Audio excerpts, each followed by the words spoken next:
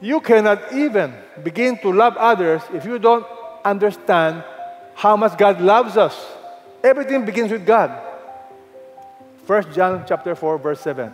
Beloved, let us love one another. Why? Love is from God.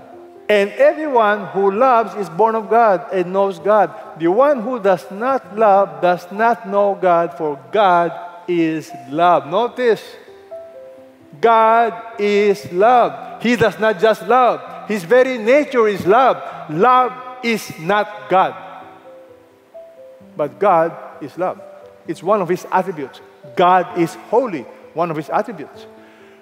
Folks, you will have a hard time loving God if you don't begin with God loving us. Everything begins with God. Let us love one another. Love is from God.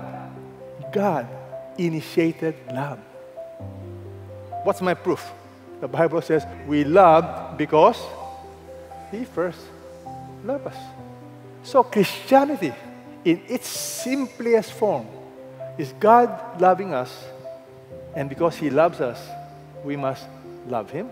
And because you love Him, you will love one another.